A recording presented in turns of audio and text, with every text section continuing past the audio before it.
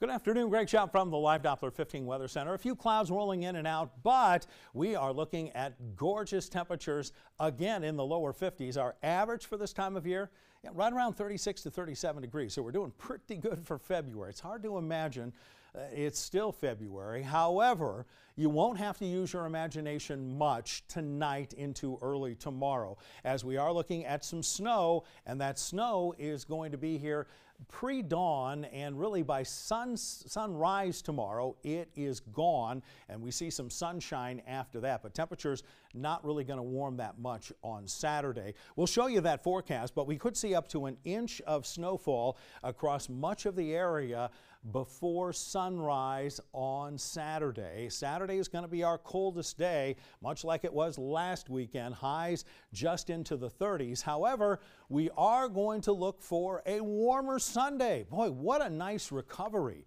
Those temperatures in the lower 50s Sunday, and then we really warm up towards the beginning of next week with some thunderstorms on Tuesday.